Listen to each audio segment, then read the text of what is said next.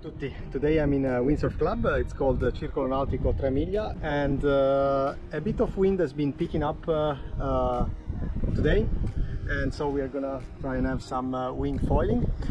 But uh, we have been observing with my mates going out in the water that uh, it's a couple of weeks that every day around 2 to 30 this wind picks up it's about 8 10 15 knots sometimes and it gives us the opportunity to go out in the water and have some fun you want to know why we have this wind in the middle of a perfect italian uh, summer? Well check this video because i'm going to explain it to you. Ciao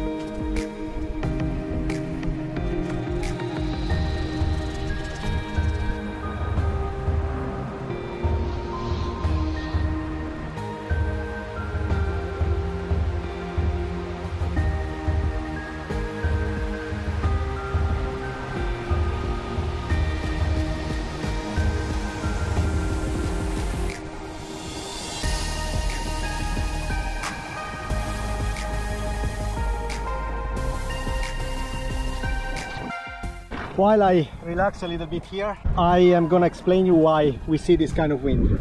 So first of all, today is a perfect summer day. High pressure all over the Mediterranean. We shouldn't supposed to see any wind whatsoever because wind goes from uh, high pressure towards a low pressure. So to have wind of this size, we should have a low pressure system somewhere and a high pressure system somewhere else pushing wind from one side to the other. But this is not the case. Uh, perfect day, sunny, all over the Mediterranean is the same.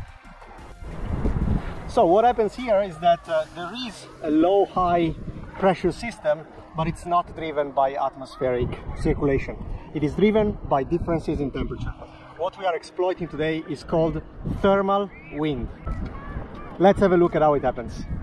A thermal wind is a wind that generates because of differences in temperature, in summertime especially between the sea surface and the land. During the day, in fact, the sea absorbs more heat than the land. The land heats up more quickly than the sea during the day in summertime. This means that the land is warmer, the sea is slightly less warm than, than the land. This higher temperature in land with respect to the sea creates a local low pressure on land and a local high pressure. There it is. Your differences in pressure is due to the difference in temperatures between the sea and the land. And so we have this very nice wind, now it's about 8-10 knots, pushing from the sea towards the land. At night, if you're wondering, it's backwards. So at night we have a breeze coming from the land towards the sea.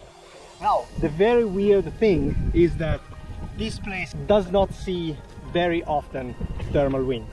And this is because you can see that we have mountains very, very close to the sea. So it's very difficult to heat up the mountains enough to create this pressure difference, so to create this thermal wind. What happens though is that this is one of the hottest summers ever recorded in the northern hemisphere. And so there is enough heating that creates this wind.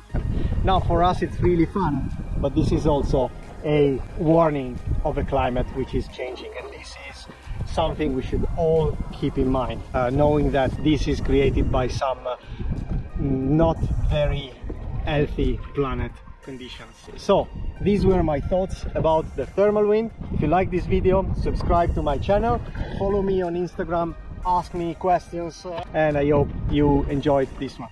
Ciao!